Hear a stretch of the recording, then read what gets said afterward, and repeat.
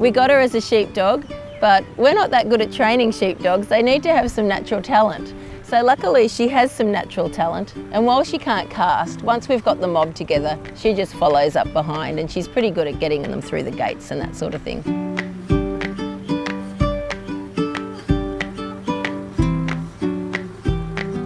We got Jill as a little pup from Orange. Within probably eight months of having her, she broke a leg.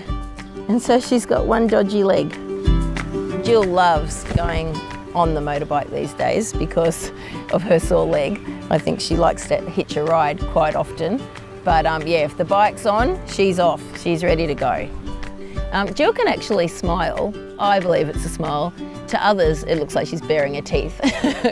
but if I get her really excited or if we're at the back door and we're about to head out somewhere, she gets all excited and these, these little teeth come up like this and she's like squinches up her nose and it's this lovely big smile saying she's so excited to go somewhere.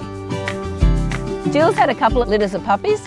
The best one we've had, um, we had eight. My mum was in at Fairview or Widden at the time and I took them in in Claire's little dolly pram and we've taken them into Fairview and all the residents were just over the moon to see these little puppies and they all got to hold them and yeah, it was really lovely.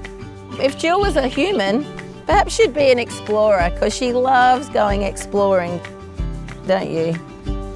And I've never, I've never been a real dog lover like, you know, they're working dogs, first and foremost, but Jill's actually got under my skin a bit and, um, and we are really good mates.